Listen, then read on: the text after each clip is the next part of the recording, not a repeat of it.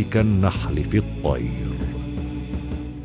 قال أمير المؤمنين عليه السلام كونوا في الناس كالنحلة في الطير. ليس شيء من الطير إلا وهو يستضعفها.